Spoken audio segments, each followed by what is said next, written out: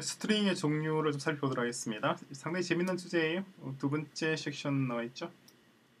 아, string은 owned string과 어, borrowed string, slicing, dicing, 그리고 function에 사용하는 것, joining 등등이 주제예요. 그리고 마지막으로 어, reference str이죠. str과 string slice와 string의 차이점, 음, 그걸 정리해보는 시간이에요.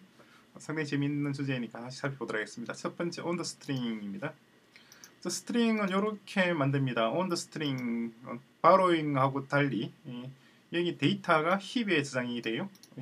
데이터가 heap에 저장이 된다고 하는 것이 어떤 의미인지는 어, 요게 데이터죠. 그러니까 string 이런 식으로 지금 우리가 만드는 이 방식 이렇게 만드는 경우 hello to string 데이터 타입 String이잖아요. 그리고 혹은 string from hello로 만들거나 아니면 world라고 하는 것 이거 자체는 str입니다.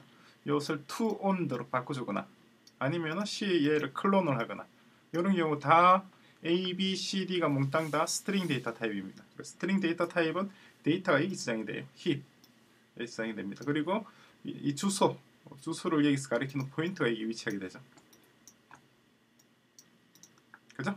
뭐 굳이 A, B, C, D 안 적어도 되겠죠. 자, 요거는 방식인데 예, 그래서 뭐요 String에 관련되어 있는 여러 가지 이런 method들을 살펴보면 수치의 new는 constructor가 되고 그다음에 with capacity도 마찬가지 constructor인데 50바이트 크기로 만들으라고 하는 겁니다. 그죠? 그렇게 해서 이렇게 capacity를 두고 만들으라고 하는 거예요. 그래서 어, 상당히 재밌는 주제입니다. 이 크기를 미리 어떤 string 만들 때 나는 이 크기로 string instance를 할당하겠다 라고 지정을 할 수가 있죠. 이렇게 크기를 이만큼 딱 지정을 하는 겁니다. 그게 이 방식입니다. 50바이트 크기로 하겠다는 거고 요거는 이, 이거는 이 얼마 전에 봤던 거죠. from UTF-8 82, 85, 83, 84 얼마 전에 봤던 에피소드에서 나왔던 겁니다. 그래서 이것을 마찬가지 string from 어, 이런 숫자로부터 string을 만들어내는 거예요. 그래서 그렇게 해서 어, 그리고 음, 출력을 해볼 수도 있습니다. 그래서 이것들 각각이 어떤 크기인지 예, 보시면은 상당히 재밌는 부분이 여러분들이 생각했던 거하고 좀 다르게 나올 수도 있어요. 그래서 먼저 러스트 시 제 7장입니다. 7장에서 String API 녀석이죠. 컴파일을 하고 컴파일 한 다음에 실제 코드를 한번 열어보죠. 그러면 이렇게 나왔습니다. 밑에 좀 잘렸네요. 조금 됐습니다. 그래서 자 보시면 첫 번째 length of empty string with capacity length of empty string, empty string with capacity 어, 한 하나가 빠졌네. 음, 여기 있습니다. length of empty string은 제로. 얘의 길이는 제로입니다. 그죠? empty string 좀 length가 됐고 두 번째 length of empty string with capacity capacity와 함께하는 이 녀석이에요. 연쇄 길이는 얼핏 50일 같죠. 그런데 제로입니다. 그죠? 지금 아무것도 안 들어가 있잖아요. 그러면 왜 50을 왜 지정하느냐는 거잖아요. 어, 그거는 좀 이따 말씀드리겠습니다. 이 녀석은 어떻게 되나? 이 녀석은 하나, 둘, 셋, 네 개의 바이트니까 4가 되고 그리고 어, 또다시 C byte string 이건 어떤 건가요? of string C라는 게 들어갈 필요 없죠. byte string 요 녀석이 4가 되고 그리고 밑으로 좀 더 내려와서 byte string says string from byte string 여기 들어있는 데이터가 뭐냐는 거죠.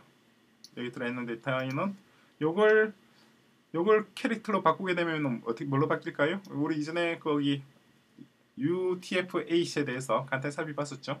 얘는 80 81로 되어 있는 건 R입니다. R U S T. 예. 그래서 러스트가 나옵니다. 그것도 대문자예요, 전부 다. 그 내용이고 그리고 그게 요 내용입니다. 그리고 밑에서 보시면은 이제 empty string에 1을 넣었습니다. 1을 넣었으니까 얘의 길이는 1이 되고 2, 3, 4, 5를 넣으면은 얘의 길이는 어떻게 되나요? 이제 5가 되겠죠. 1, 2, 3, 4, 5 5바이트입니다. 바이트 단위는 바이트예요. 그리고 예, 그걸로 끝입니다. 그런데 여기 좀 전에 보시는 보시는 것처럼 여기 with capacity를 50을 주고 있는데 그죠? 50을 주고 있는데 왜 이걸 뭐라고 해야 되나? 어, 이, 경우, 이 경우와 다른 경우 게 뭐냐는 거죠. 얘도 길이를 보니까 제로고 얘도 길이가 제로잖아요. 그죠?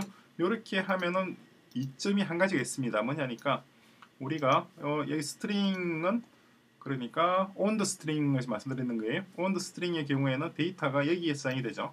그래서 그리고 미리 이만큼의 크기를 잡아주는 거예요. 그 버퍼라고 얘기를 합니다. 잡아 50만큼 잡아준 거예요. 그랬다가 나중에 어, 계속해서 데이터를 추가할 수가 있잖아요. string은 이런 식으로 데이터가 추가될 수가 있죠. 그래서 메모리 메모리 공간에서 특정한 string variable이 차지하고 있는 공간의 크기가 줄어들거나 늘어날 수가 있죠. 그래서 heap에다 저장하는 거잖아요. 근데 이게 50만큼 잡아놨는데 50을 초과하게 되면은 이 전체 버퍼를 지워버리고 지워버리고 다른데 좀 더 넓은 데를 찾아서 옮겨가야 됩니다. 이렇게. 그죠? 그래서 미리 capacity를 지정을 해주는 거예요. capacity를 지정하는 것이 지정하지 않는 것에 비해서 나중에 약간의 어떤 어, 컴퓨터 자원을 소비하는 양이 약간 줄어들게 됩니다. 그런 점이 이점이 있습니다.